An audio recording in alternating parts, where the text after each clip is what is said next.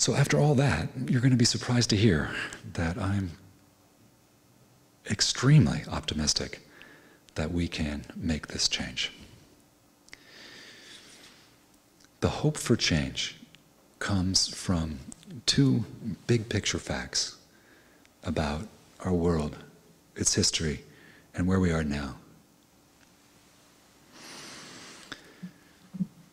The first great hope that we can overcome might makes right for resources is that through history, humanity has overcome might makes right in other areas many times before.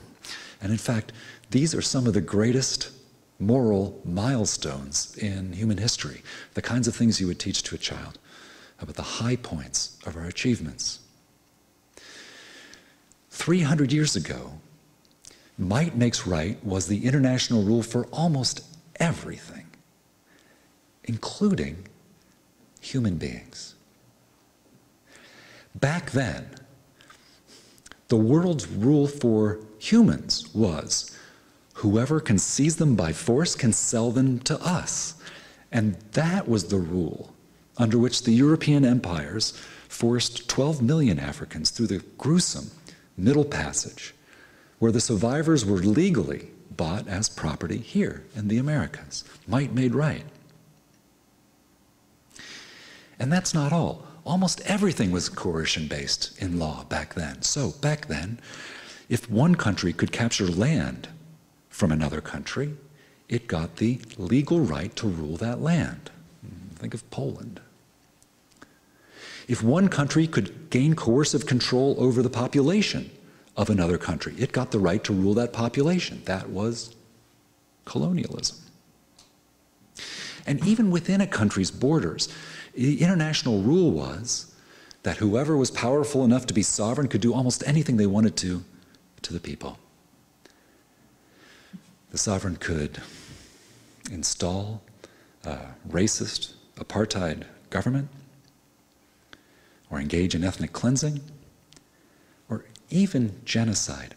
All of those things were legal in international law because might makes right.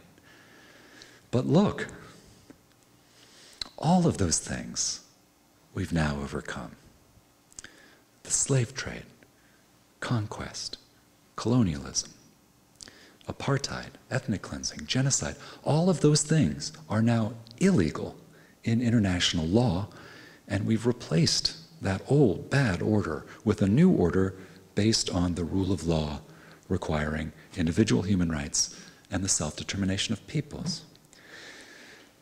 Now, you know that just because we have new laws doesn't mean that we've magically abolished power, right?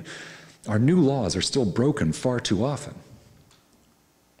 But we're on the right side of history when it comes to things like the slave trade and colonialism and apartheid. I mean, think of sexual harassment, right? Sexual harassment used to be legal, we've made it illegal. It still happens far too often, but we are on the right side of history with regard to that issue. We've made all this progress against the international rule of might, might makes right, but we're still on the wrong side of history when it comes to might makes right for resources, which continues to zombie on in the international system. It's one of the few remnants of that old system.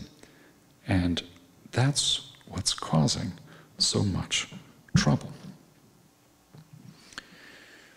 The big progress that humanity has made in the past 300 years has come from transforming what used to be respectable exercises of violence into widely reviled crimes.